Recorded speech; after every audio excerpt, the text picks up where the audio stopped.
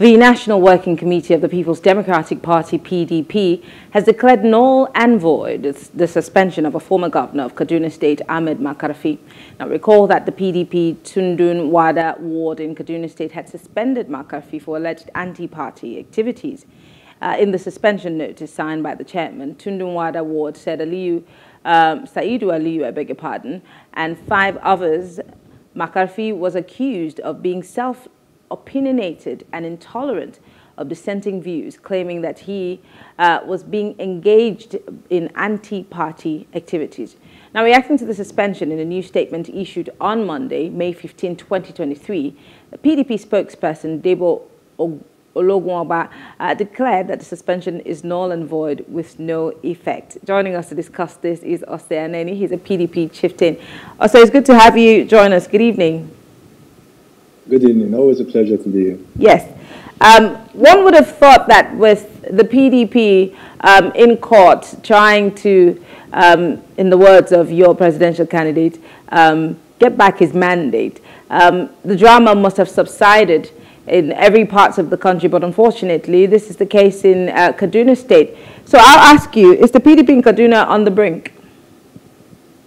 Um, it isn't. I think this is more um, an example of what happens when bad behavior goes um, unpunished. Um, we have seen political actors use this tactic. Uh, if you recall, in the APC, they, they got rid of their national chairman by suspending him at the ward level. Um, they got rid of uh, Secondus, the PDP national chairman, by suspending him at the, or purporting to suspend him at the ward level.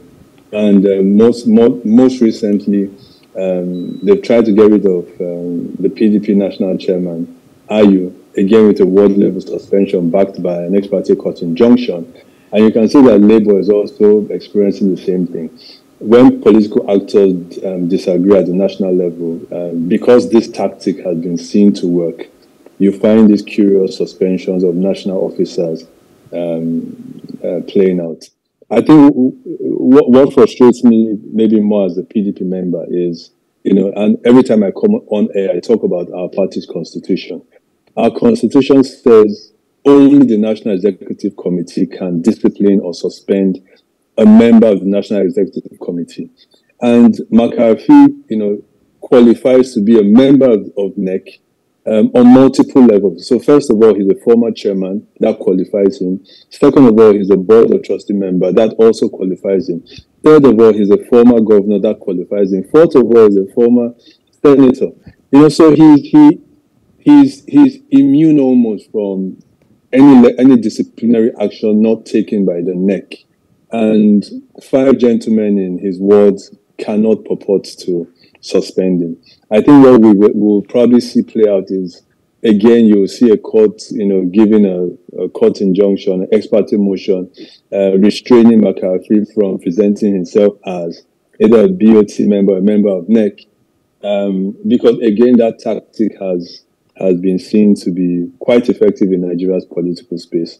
But the publicity secretary was absolutely correct. It's not recognized in our constitution. A ward cannot suspend a member of NEC, which Makarfi is.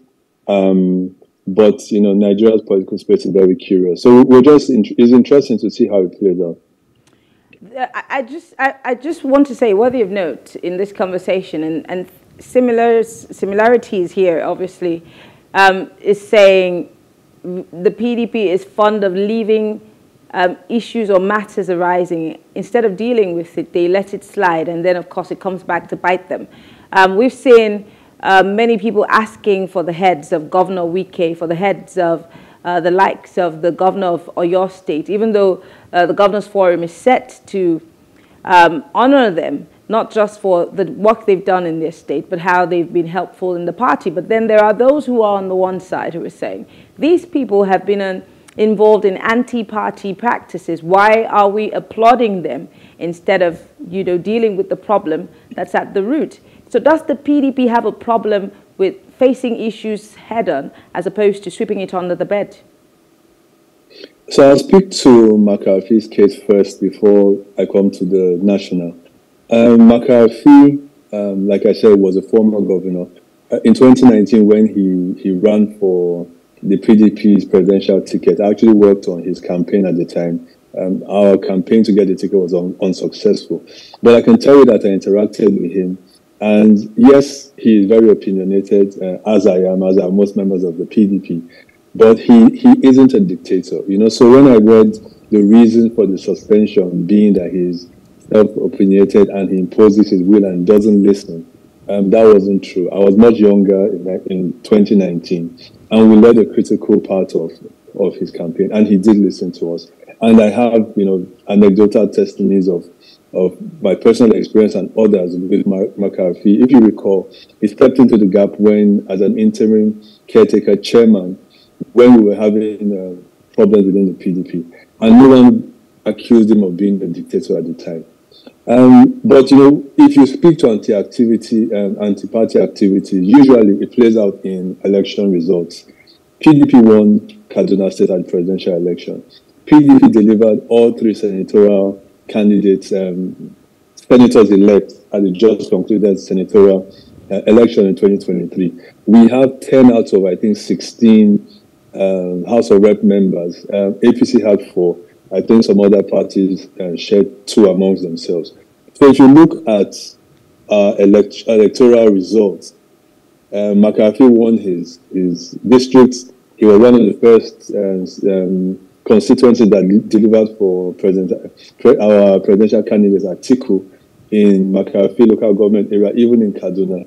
So, I, you know, it's curious when you see the world accusing him of anti-party and working against the party when he was front and center and led the charge in Kaduna State to the point that Kaduna, you know, delivered one of the best uh, electoral results for PDP in the just concluded 2022 elections.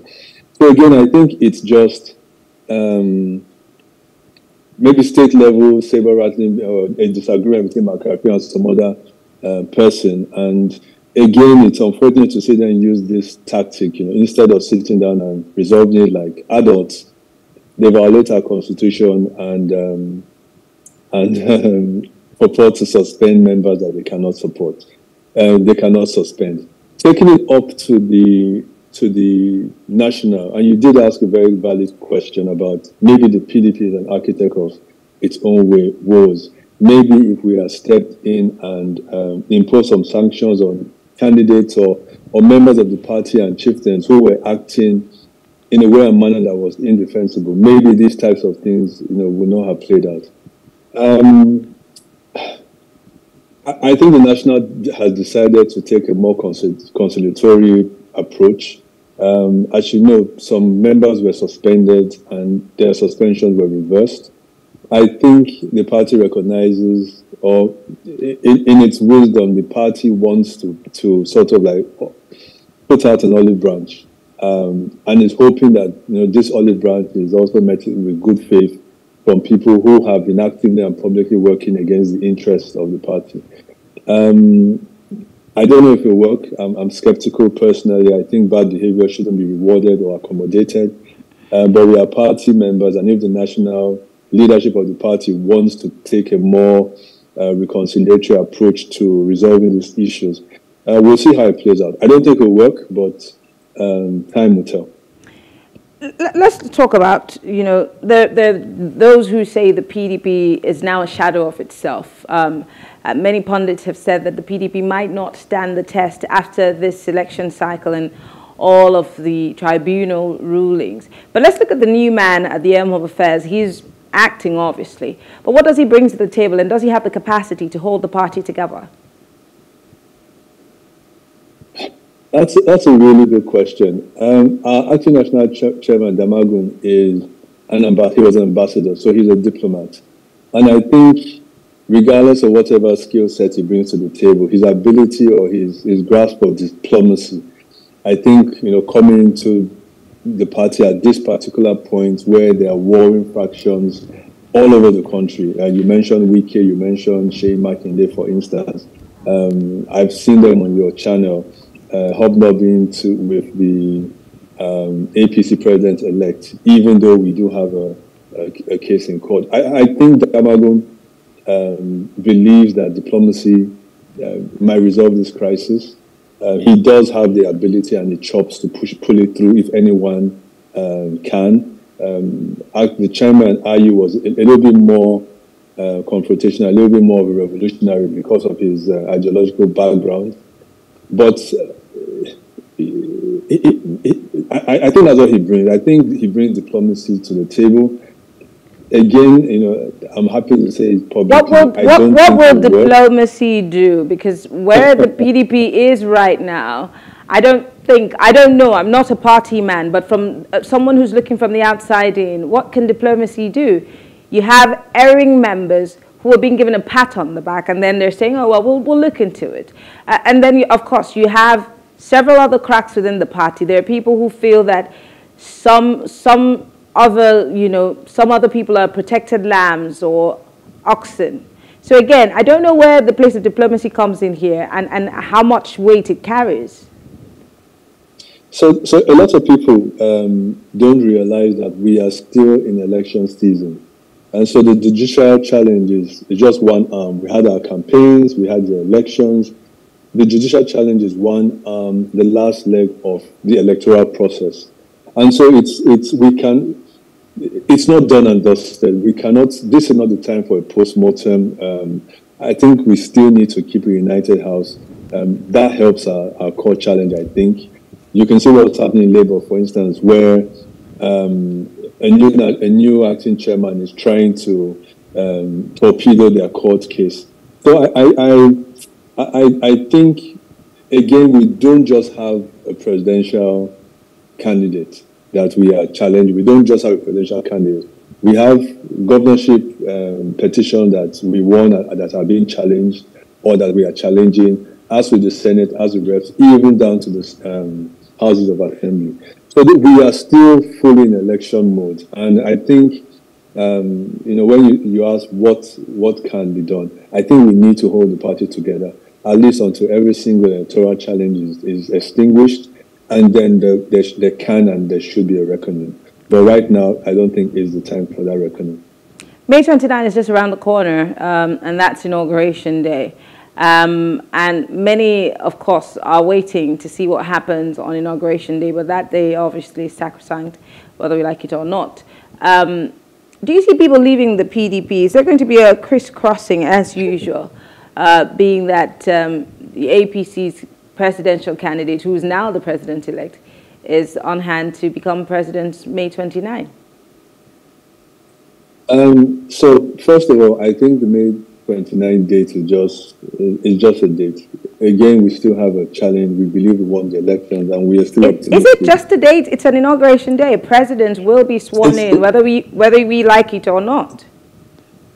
It's, it's just a date. Um, really? He's been sworn in doesn't doesn't mean that you know our our challenge becomes moot or, or is swept away. Um, even though he has been sworn in, if the Supreme Court finally rules that Atiku Abubakar was validly elected, Atiku Abubakar at that point in time becomes the president of the Federal Republic of Nigeria.